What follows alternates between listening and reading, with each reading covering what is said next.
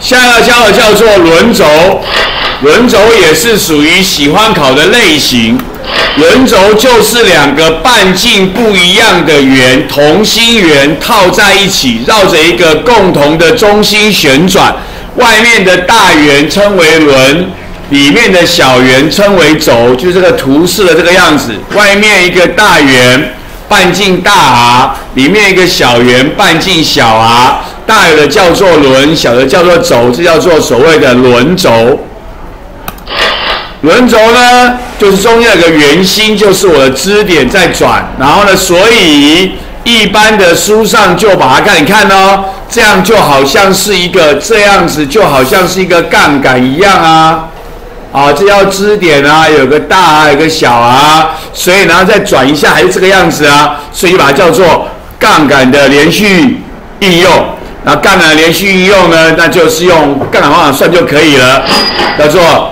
轮半径乘以轮施力等于轴半径乘以轴施力，好，这样子做。其实这个就是功能原理，因为轮轴的 key word，轮轴的关键的想法就是套在同一个圆心上，轮转一圈，轴也会转一圈。所以如果你施力 F，然后呢，让大让后面大轮转一圈，就走了二拍大 R。那么这要做力量乘位移，就是做功等于能量改变。那能量就是它提升上去，乘上去，那就是 mgh。那么 mg 如果你不用不改单位，不用牛顿，它就是重量，就是重量。然后呢，高度 h 它就转，外面转一圈二拍大 R，里面转一圈二拍小 r，二拍就消掉了，叫做轮半径乘以轮施力等于。轴半径乘以轴施力就这样子来的，所以我说，如果你会功能原理，这些都并没有新公式，都是用功能就知道了。那么一般就是用所谓的杠杆的连续运用，所以就是杠杆轮半径乘以轮施力等于轴半径乘以轴施力，然后把它记好。所以在轮上施力的话，因为轮半径大。要等于轴那边的，所以轮半径大，所以施力就会小，所以就会省力，那是会费时。为什么会费时？因为你转一圈二拍大啊，它才上升一个二拍小啊，所以它会费时。倒过来，如果在轴上施力就会怎么样？省时费力。你只要转一个二拍小，它就转一个这卷一个二拍。大，可是因为你的施力率比较小，所以你就会费力，所以就会省时会费力，就是轮轴计算方式很简单，轮半径乘以轮施力等于轴半径乘以轴施力。好，所以我刚才讲过，T O 就是这一句，关键就是这一句，它绕着同一个圆心。轮转一圈，轴就转一圈，然后用这个想法带到功能原理，就得到相同的公式。刚才给你算过一次了，有 keyword，请记住这件事情。OK。那所以呢，刚刚讲为什么会费时，就是因为你在轮施力，因为轮半径大，所以呢你就会省力。可是轮转一大圈才卷起来一小圈，所以它就会费时。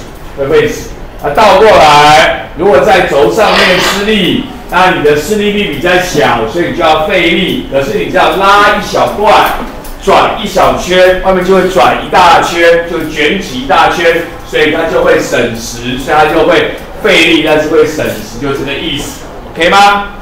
很好。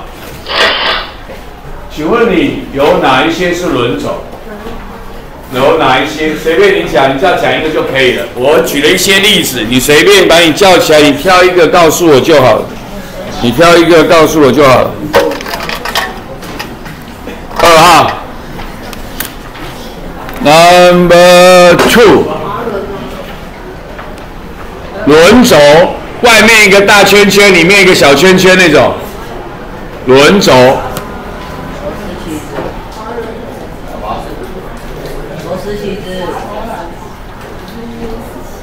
螺丝起子可以，请坐下。罗赖把可以。喇叭锁，喇叭锁。方向盘，方向盘。擀面棍，这种擀面棍，还有那种你们一开始可以看看那个井井水那个绳子上绕绕那个拉井水那个桶子，那个也是轮轴。你刚刚说的那个楼赖把也是，外面一个大圈，里面一个里面一个那个楼赖把也是。打蛋器，打蛋器，这个打蛋器，打蛋器比较麻烦，打蛋比较麻烦。那个在旁边的这个地方，在旁边的这个地方是一个轮轴，这个显然呢，这个比较长，里面比较短，对不对？这个是什么力？省力，对吧？可是这里不是，里面比较小，弹的地方比较长，碰到弹的地方比较大，所以这个这部分什么东西是费力的？这部分是费力的。总和结果省力还会叫它的比例。要看比例，要看比例啊！但是按照正常想法，它的总和结果应该是有一点费力，因为弹也不会抗力太大，但是你要省时间，让它能够很快的把它打散，把它打散。但是我们不确定，要实际算比例还是它到底是省力还是费力？就是这里省力五分之一，那里费力七倍，那就知道是费力。啊，这里省力五分之一，那边费力两倍，那还最后还是会省力。OK，这就是轮轴运用。轮轴计算很简单，我讲过，多数老师教你的时候都说这叫做杠杆的连续应用，所以用杠杆原理，势力臂乘以势力等于抗力臂乘以抗力，就变成所谓的轮半径乘以轮势力等于轴半径乘以轴势力。啊。就然后就会有理解的啊，轮上势力会省力，轴上势力会费力，了解它是省力还是费力，这样就可以了。OK。